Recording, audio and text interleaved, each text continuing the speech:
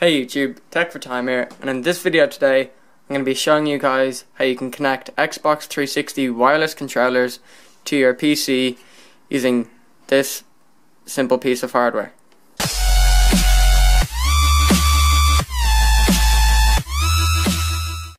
This right here is a wireless receiver for Xbox controllers. Microsoft sell their own version of these, but it comes at an expensive price whereas I just bought this one off eBay for less than 10 euro and it works perfectly.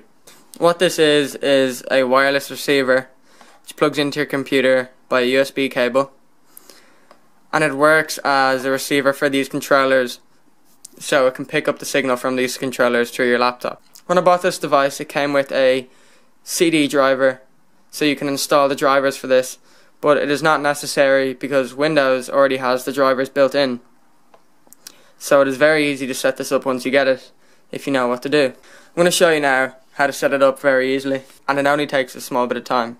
So I'm going to go ahead and plug this USB into the side of my laptop.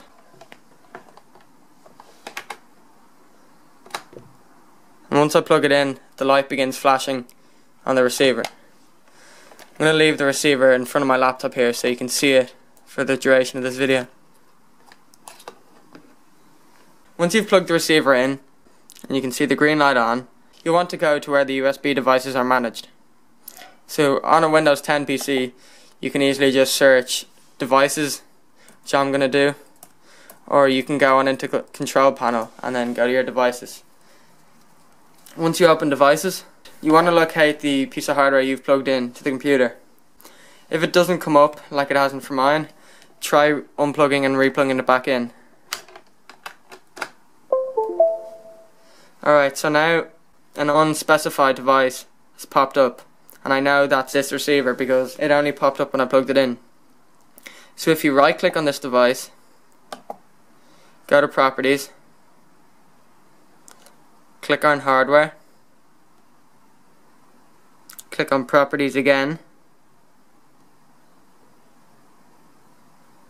you'll then open the unknown device properties then click on change settings. Then update driver. And then choose browse my computer for driver software. And at the bottom here it will say let me pick from a list of device drivers on my computer. This is the option you want to pick because Windows already has it for you. You then want to scroll down to the bottom where you'll see Xbox 360 peripherals. Double click on that. You then want to scroll down again until you see Xbox 360 wireless receiver for Windows, which is one of these, a wireless receiver. And there might be two versions here like there is on mine, but there could be a couple of different versions. So you'll want to pick the most, the newest version but if one version doesn't work for you, maybe try the other because some might work for your computer, some versions mightn't. But I'm going to go ahead and pick the newest one here. You can see at the end the date 2015 versus this one which is 2009. Make sure you're picking the right one, that is the receiver and not the play and charge kit or any other Xbox controller driver software. So once you've selected the right one, click next. It will then come up with a warning, but you know this is the right driver, so click yes. The driver will be installed very quickly, and then you can close down everything you had opened. Hit close, hit OK, and I'll X down as well. I'm going to just plug out the receiver now and then plug it back in and connect the controller. So I've plugged the receiver back in and now I'm going to turn on the controller. Sometimes they can take some time to connect and sometimes they connect straight away. So just play around with it. So you can see there it just connected on its own after a few seconds.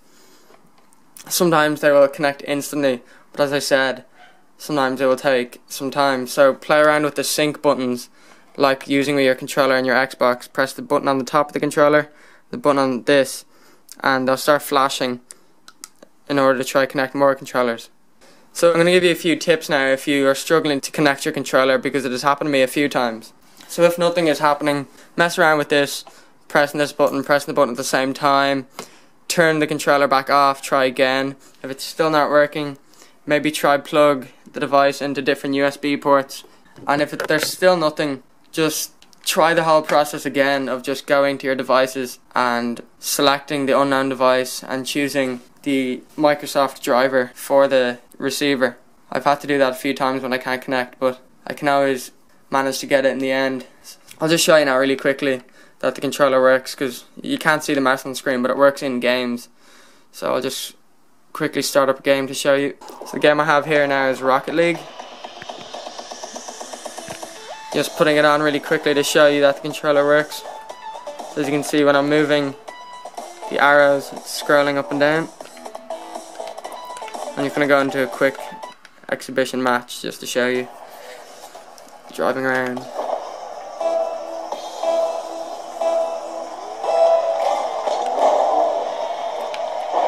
So you can see that driving around with the controller works and it all works perfectly. You don't have to configure any settings for the controller or map the controller out. It all works straight away perfectly because Microsoft have the drivers for the controllers. If you like this video, please remember to leave a thumbs up. Comment if you have any other questions or you are struggling with connecting your controllers to this device. And remember to subscribe if you're not already.